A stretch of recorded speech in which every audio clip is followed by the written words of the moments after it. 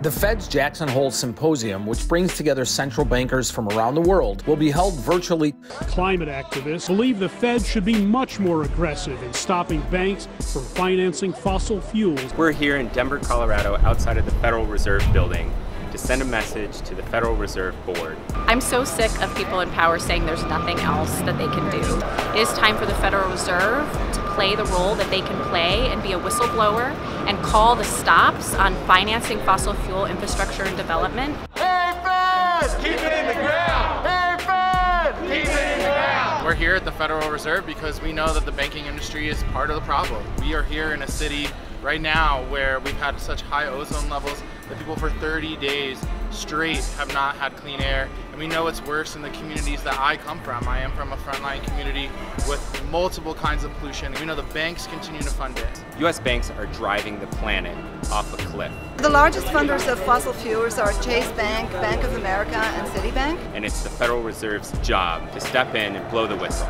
The Fed has control over the, the banking, the financial system in the United States, which contributes almost a trillion dollars a year to the fossil fuel industry.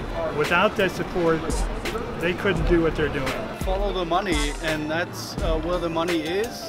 Ahead of COP26, we are calling on the Federal Reserve to phase out all fossil fuel financing by 2030. Fossil free Fed! We have to remember the timeline here. So again, the Fed chairman's term is set to expire in February of next year, which means that the Biden administration will have to make some sort of announcement uh, probably soon.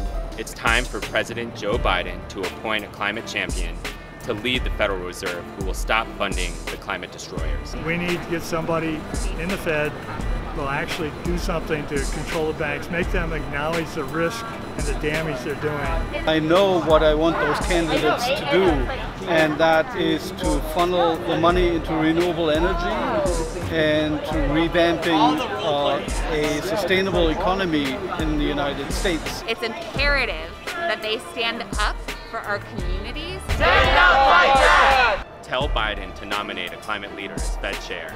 Sign this petition and share this video.